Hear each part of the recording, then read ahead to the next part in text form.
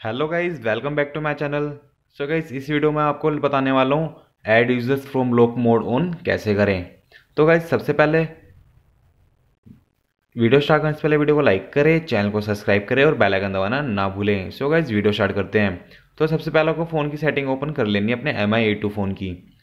उसके बाद आपको स्क्रॉल करना है डिस्प्ले का ऑप्शन आएगा डिस्प्ले ओपन कर लेनी है। डिस्प्ले पे ओपन करने के बाद एडवांस का ऑप्शन आ रहा है एडवांस पे क्लिक करें। एडवांस पे क्लिक करने के बाद गैस आपको नीचे स्क्रॉल करना है। आपको लो स्क्रीन डिस्प्ले का ऑप्शन आएगा, इस पर क्लिक करें।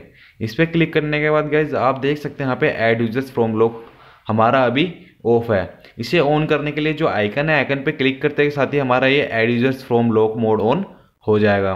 तो गैस मैंने इस पर क्लिक करा और ये हमारा add users from block mode on हो चुका।